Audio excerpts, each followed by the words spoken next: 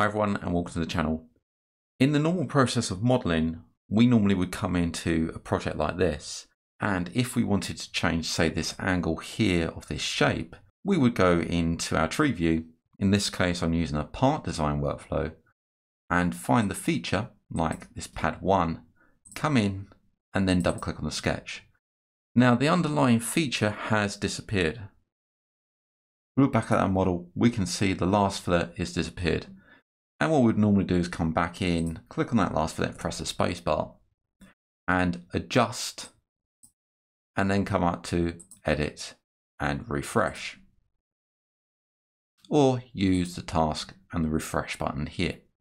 Wouldn't it be a lot easier if we could say come into the sketch and double click on it and see that underlying operation still visible. So that last operation is still visible there. And also change the position of say this line and have it auto update. Now this won't be for everybody, but there are preferences in FreeCAD to allow us to do this. In this video I'm going to be sharing those with you with a hope to make your modelling that little bit more easier.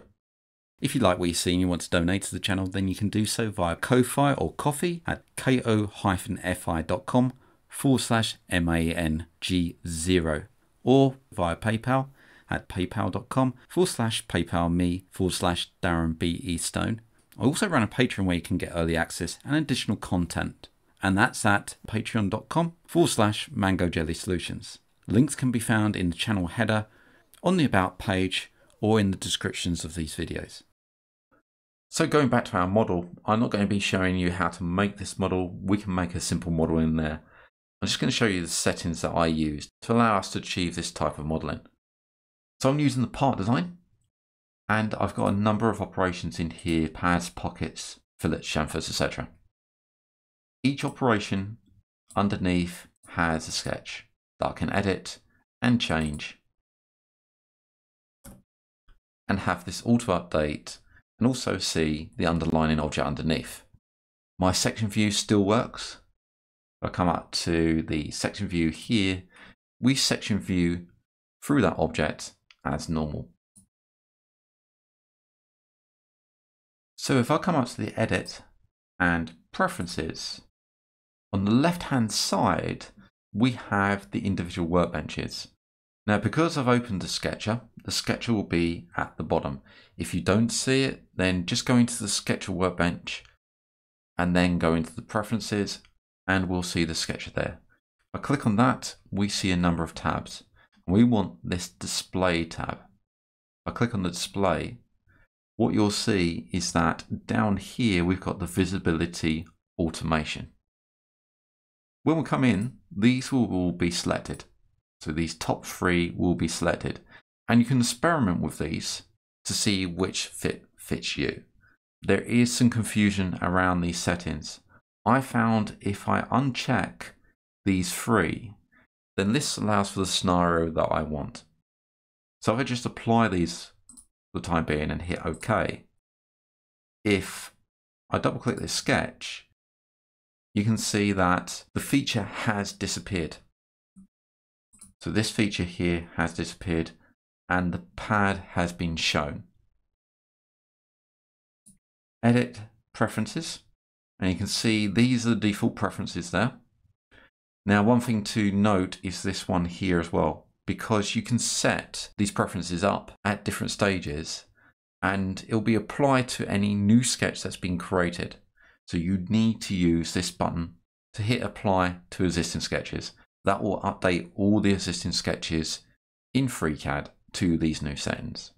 So at the moment, if I hit OK, and let's close out of this, and I look at my sketches and look down the bottom, we're on the View tab. You can see we've got the visibility automation here as well. And these are read only. So you can see those there. So if you've got a sketch that is not behaving as suspected, then come down to here and look at these visibility automations. Edit preferences at the moment. I've got all these set as default. I've applied to existing sketches and I'll hit OK. So when I come into a sketch, the last operation is always hidden. And this is the operation just here that is created by this sketch. So that one will be hidden. So what you're seeing is a sketch being placed on top of its parent operation. So if you look at the data and you see the support is pad 1 face 6. So this one here, face of that pad. Last fillet is visible. Very last operation, the tip, you can see the tip there. If you come up to edit and preferences, and so this hide all objects that depend on the sketch. If I uncheck that, I find that it doesn't leave the last operation visible.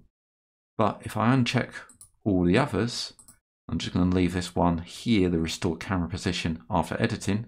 Then if I hit apply to existing sketches and then hit OK, when I double click on the sketch, you can see the operations still stay visible and I can move this. So if I move this point over, everything refreshes and it's absolutely fine. Now, what will happen when you move this over, it won't refresh until another setting is set. And that's the setting here. So this solver message has got this little refresh here, which you can use to refresh rather than come up to edit and refresh, which is grayed out at the moment. So you can see that one there. But if we drop this down, there's this auto update, which I have checked. So this stays checked the minute we come in and check the box. I've got it unchecked now. And if I move this, like so, you can see it hasn't updated. The minute I hit refresh, it does update. But if I used the drop down and checked that, that is now set for the duration until we uncheck that. So I can now move this and at update, I hit close and come in to say another operation. Let's go for this one here and change the dimension. Let's change that to 15 and hit enter. This will auto update as well. There are other settings. So if I come up to the edit and preferences, there is this one as well. Open sketch in section view. So if we apply that to existing sketches and OK that, if I double click on that operation now, I am automatically in section view. So you can see that this part has been sectioned through. And if I use the section view, you can see that all the sketches, I come into them, go for this one. We've got that section view kicking in. You can see as I come around to this side, we can see it being section viewed. So that's it. So those are a few settings in the Sketcher that make life a little bit easier.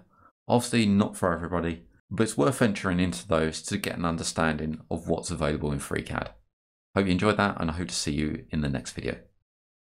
If you like what you see and you want to donate to the channel, then you can do so via Ko-Fi or Ko-fi at ko-fi.com forward slash MANG0 or via PayPal at paypal.com forward slash paypal me forward slash Darren Bestone. I also run a Patreon where you can get early access and additional content, and that's at patreon.com forward slash mango jelly solutions. Links can be found in the channel header, on the About page, or in the descriptions of these videos. I thank everybody that's donated so far. It really helps to keep the lights on so I can produce more content and also expand the channel. Thank you for liking, commenting and subscribing to these videos and I hope to see you again in the next one.